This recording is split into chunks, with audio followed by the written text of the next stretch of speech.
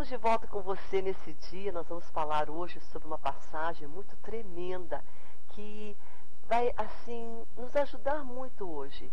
A palavra de Deus sempre fala com a gente, sempre nos levanta, sempre nos é, coloca assim mais perto de Deus, nos desperta, quebranta o nosso coração, nos corrige.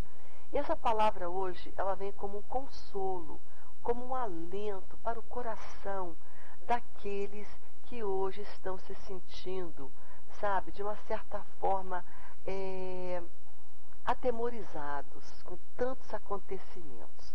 Eu gostaria de dar uma pausa aqui para dizer também da nossa indignação como ministério da palavra sobre os eventos que aconteceram domingo último na nossa nação, que chocaram as pessoas, pessoas profanas, pessoas sem temor a Deus, pessoas que saíram nas ruas nesta marcha né, do LGBT. E é interessante que é, não somente indignação, não é? é uma revolta pela maneira como eles se portaram. A Bíblia diz em Gálatas, no capítulo 6, no versículo 7, diz assim: é interessante como Deus, ele é tão sábio, não é? Sabendo já na eternidade que o perfil desses ativistas, ninguém surpreende Deus. Deus não foi pego de surpresa com essas atitudes. Nós estamos indignados, contudo não surpresos, porque essas pessoas já foram definidas na Bíblia, já se fala sobre eles, o caráter, a, a maneira de agir. Claro que isso não, não, não estou dizendo que desculpando de maneira alguma, mas dizendo que isso já foi previsto na Bíblia, na palavra de Deus. E a Bíblia diz: de Deus não se zomba. Só que a primeira parte do versículo é tremendo, que fala assim: não vos enganeis. Não se deixe enganar. Essas pessoas que agiram dessa maneira, elas estão enganadas, querem enganar outros, mas estão equivocadas. A Bíblia fala: não vos enganeis, porque de Deus não se zomba. Tudo que o homem plantar, tudo que ele semeia, ele eventualmente vai colher. Ele vai colher para si a, o resultado, a consequência dessas coisas. Atitudes de deboche, atitudes de profanação e sacrilégio vão ser colhidos também. Interessante que muitas pessoas, quando viram essas cenas, né, cenas muito fortes que foram propagadas pelos ativistas do LGBT, é interessante que a Bíblia já há muito tempo descreveu esses ativistas. Eles estão aqui na Bíblia, esse perfil deles. Então nós podemos estar sim indignados. Agora surpresos não. Era o que eles queriam, surpreender, chocar. Mas como Deus sempre está Sempre.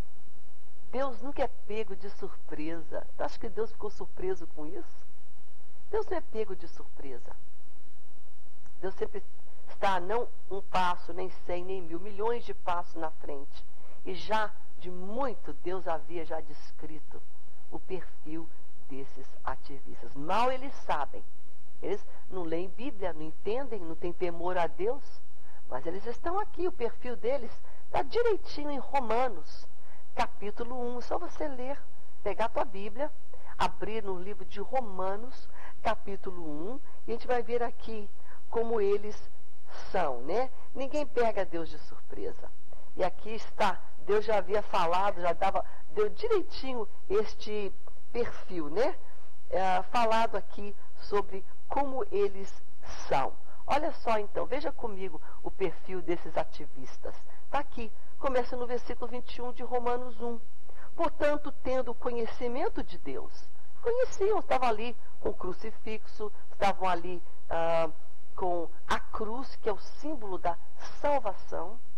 Jesus morreu numa cruz para salvar, inclusive, eles, a humanidade. Conhecem, sabem quem Deus é. Mas, olha só o que a Bíblia fala, o perfil desses ativistas tendo conhecimento de Deus, não glorificavam como Deus, nem lhe deram graças, antes se tornaram nulos em seus próprios raciocínios, obscurecendo-lhes o coração insensato. Inculcando-se por sábios, tornando-se loucos. Se você assistiu, ouviu alguma reportagem depois, é um bando de louco, atitude de louco, de maluco, quebrando, denegrindo, sabe, desvirtuando, zombando. Aqui está aqui o perfil deles aqui. Incultando-se por sábios, se achando sábios, mas tornando-se loucos. E mudaram a glória de Deus incorruptível em semelhança à imagem de homem corruptível, colocando Deus como se fosse eles ali, né, crucificado numa cruz, se colocando no lugar de Deus. Aqui o perfil. Como que Deus está na frente, né? Como que Deus já escreveu, já mostrou, sabe? Então, se eles estão achando que estão chocando Deus, não estão, não. Está aqui na Bíblia o perfil. E aqui diz mais, olha só, bem direitinho, olha aqui. Da imagem bem como de aves, quadrúpedes e répteis. Mudar a glória de Deus incorruptível em semelhança de homem que é corruptível. Por isso, Deus entregou tais homens à imundícia. Só tinha imundícia naquela marcha, naquela parada. A imundícia que Deus entregou pela concupiscência do seu próprio coração. Não é porque Deus quis, não, porque o coração deles está ali puxando aquilo. Então Deus falou: Você quer isso? Então eu vou te entregar isso. E Deus entregou a concupiscência para desonrarem o seu corpo entre si, entre um outro, uma desonra deles mesmos. Ninguém estava honrando Deus e nem a si mesmo, desonrando a sociedade, desonrando família, desonrando valores, desonrando ah, princípios, especialmente desonrando Deus. Pois eles mudaram a verdade de Deus em mentira, adorando e servindo a criatura em lugar do Criador. Por causa disso, Deus os entregou, a paixões ínfames. É isso aí. Porque até mulher, mulheres mudaram o modo natural das suas relações íntimas por outro, contrário à natureza. É isso aí. Todos contrário ao que Deus criou eles para serem. Criou o homem para ser homem e a mulher para ser mulher, para constituir família, que é algo de muito tempo já da Bíblia, Adão e Eva. Não era Adão e Adão e Eva e Eva. Mas aqui desvirtuaram e fizeram de acordo semelhante os homens também, deixando o contato natural da mulher, que é o normal, natural, se inflamaram mutuamente em sua sensualidade, se, mutua, se inflamaram mutuamente um com o outro, homem com homem cometendo torpeza, homens com homens, e recebendo em si mesmos a merecida punição do seu erro. O mal tem consequência. E por haverem desprezado o conhecimento de Deus, o que Deus faz? O próprio Deus os entregou a uma disposição mental reprovável para praticarem tais coisas inconvenientes. Essa é a palavra. Isso é uma parada inconveniente. Mas Deus entregou, porque eles queriam. É, é o que? Deus falou, tá bom, está aqui. Está na Bíblia. Está aí o perfil do GLBT. Romanos 1. Deus sempre está na frente, né? Deus sempre sabe todas as coisas. E aqui descreve um pouquinho mais, aqui todinho. E por haverem desprezado, cheios de toda injustiça. Olha aqui a característica deles cheio de injustiça, de malícia, não tem nenhum amor, nenhum bem ali, só maldade, avareza, possuídos de inveja, homicídio, contenda, tolo, malignidade, sendo difamadores. Está aí o perfil. Caluniadores, aborrecidos de Deus, insolentes. Não está vendo? Não está a descrição perfeita? Está na Bíblia. Insolentes, soberbos, presunçosos, caluniadores, inventores de males, desobedientes aos pais, insensatos, pérfidos, sem afeição natural e sem misericórdia. Descreveu direitinho. O que você viu é isso daqui.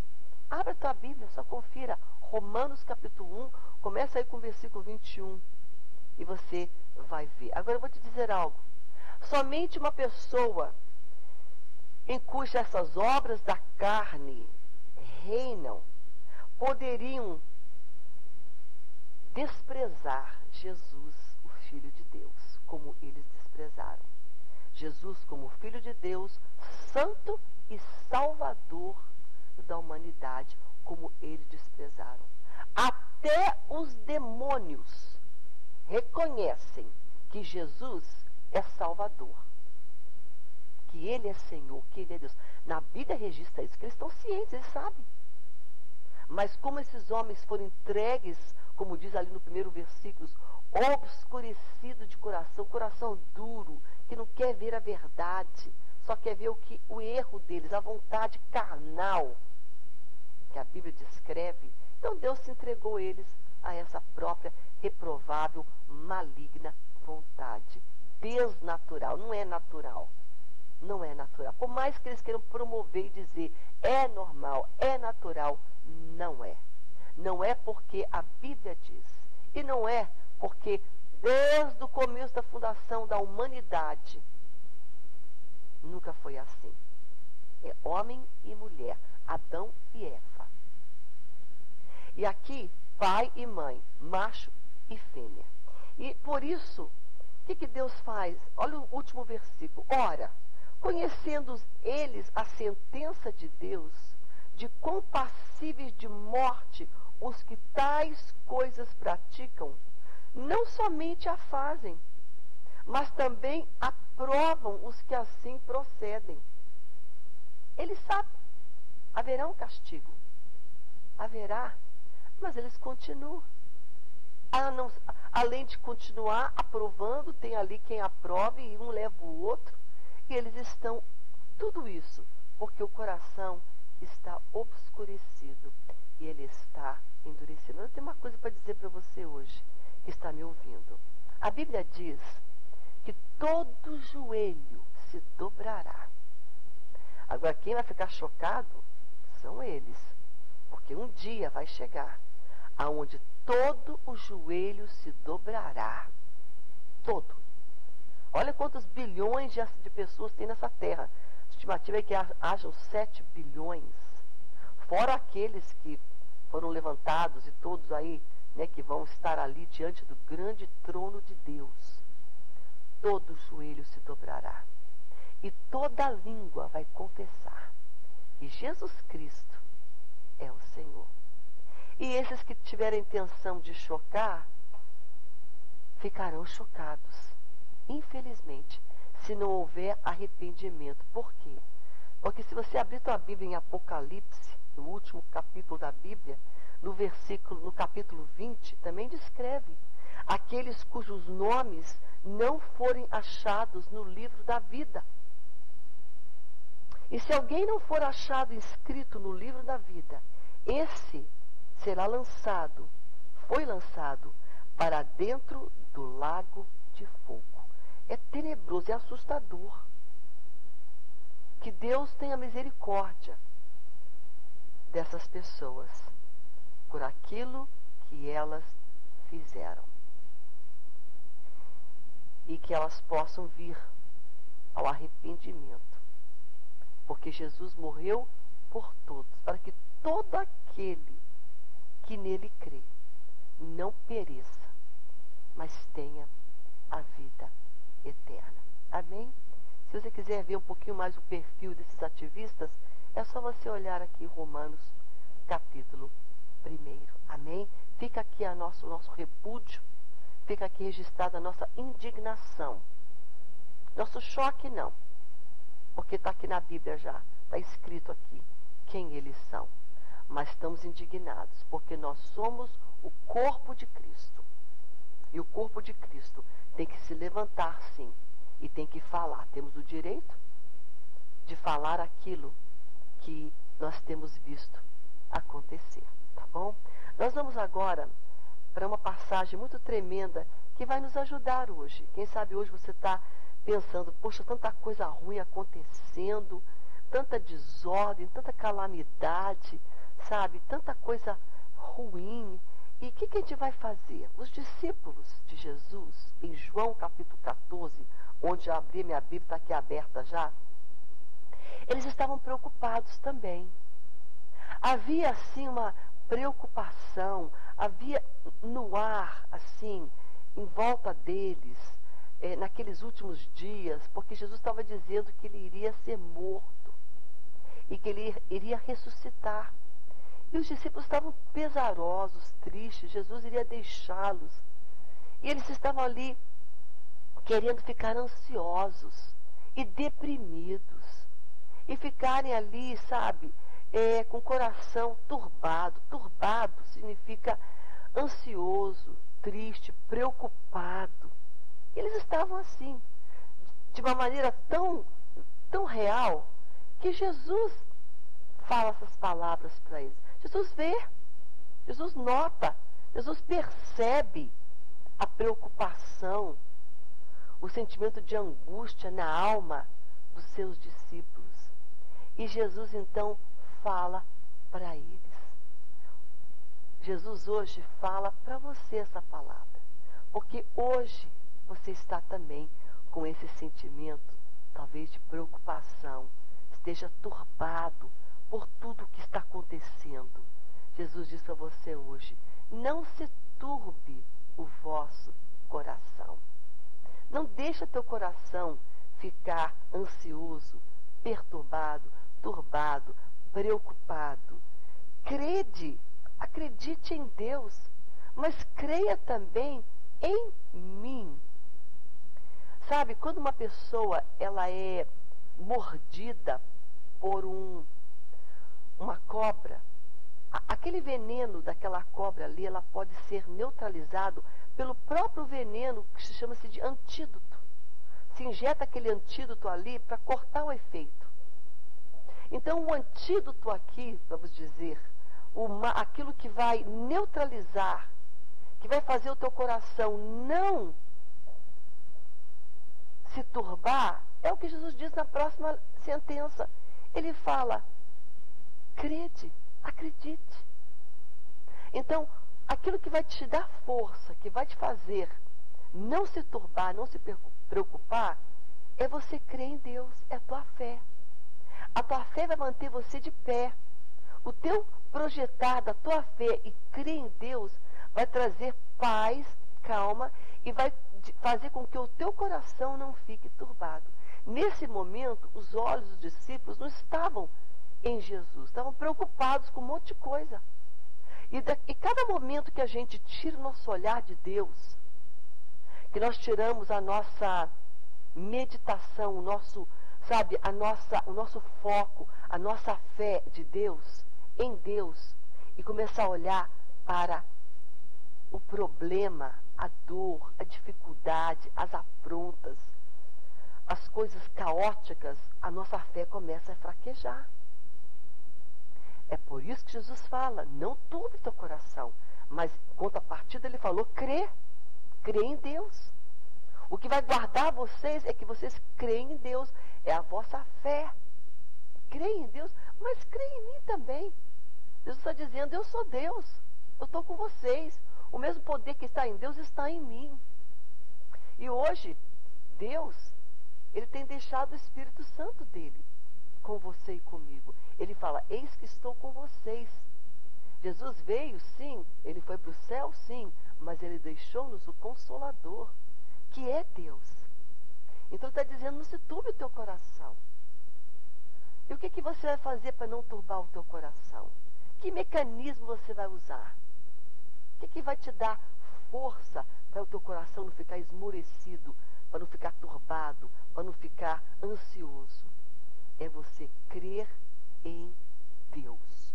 Projetar a tua fé, a tua confiança, os teus olhos, a tua esperança em Deus. Ele não falha, ele não muda, ele não é, sabe, um dia está feliz, outro dia está triste, outro dia está assim, está assado. Não. Ele é constante, ele é fiel naquilo que ele diz, que ele faz e aquilo que ele fará. Por isso ele diz aqui: não se turbe o teu coração, mas creia, acredite, creia em Deus, creia também em mim. E aí Jesus fala: na casa do meu pai tem muitas moradas. Se não fosse assim, eu não estaria aqui dizendo isso para vocês. Se não fosse verdade. Mas o fato que é verdadeiro, por isso que eu estou dizendo de Jesus. Aqui, que na casa do meu pai tem muitas moradas. E eu vou. Por um pouco vocês vão ficar longe de mim.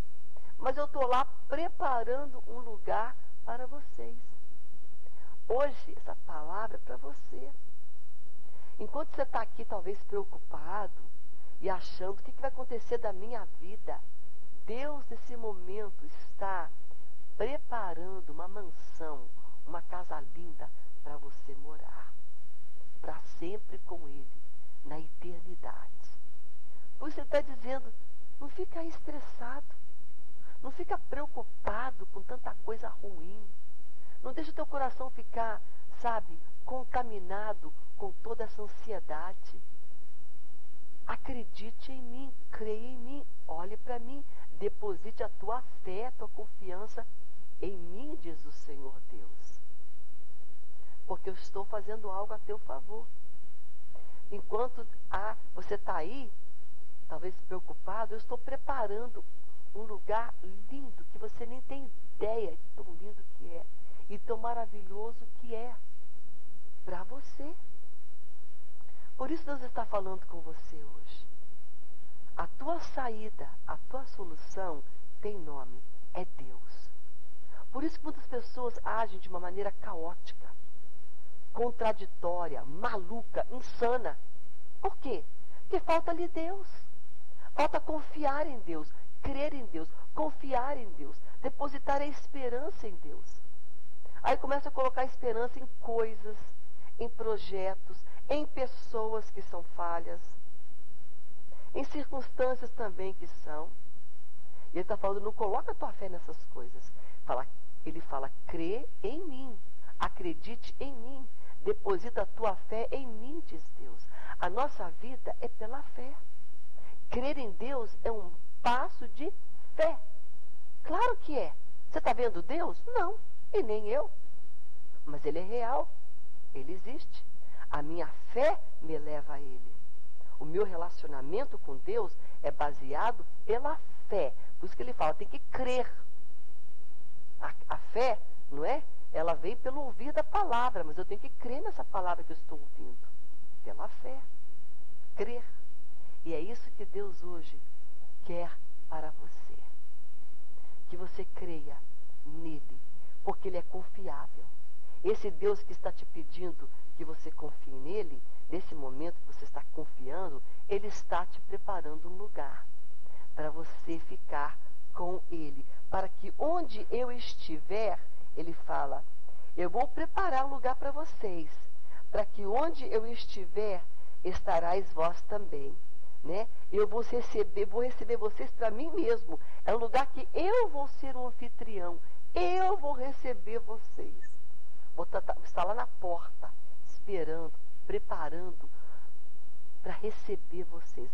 Eu vou estar recebendo agora, nesse final de semana, uma visita na minha casa. Estou preparando já. A suíte, um quarto bonitinho, sabe? Até o lanche, tudo que eu vou preparar para essa pessoa.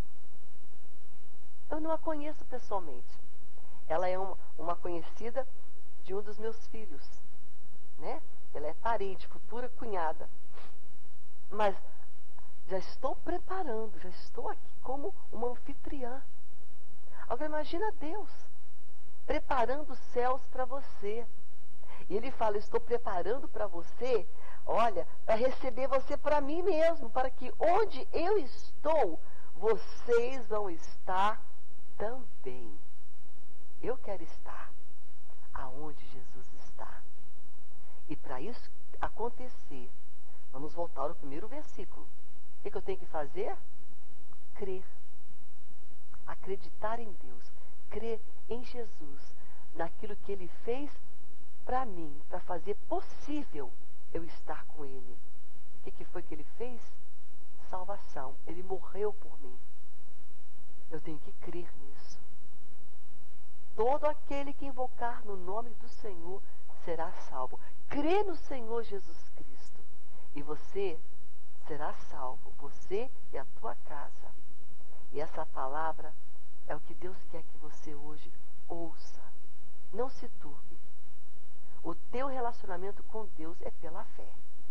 Ele quer que você crê nele. Acredite, coloca, deposite tua confiança. Não se turbe, não fique aí.